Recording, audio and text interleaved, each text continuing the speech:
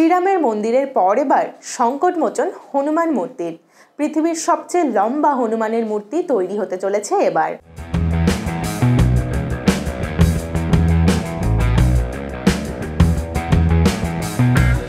রাম জন্মভূমি ট্রাস্টের মতোই হনুমান জন্মভূমি ট্রাস্ট এই কাজে হাত দিতে চলেছে। রামায়ণ মতে হনুমানের জন্ম কিষ্কিন্ধায়। মনে করা হয় মহাকাব্যের কিষ্কিন্ধা আজকের হাম্পি। এই হাম্পিতে এবার গড়ে উঠবে পৃথিবীর সর্ববৃহৎ দুশো পনেরো ফুট উচ্চতার হনুমান মূর্তি। হাম্পি এমনিতেই বেড়াবার জায়গা। হনুমান ট্রাস্টের সদস্যরা মনে করছেন, এবার এটা হতে চলেছে তীর্থস্থানও।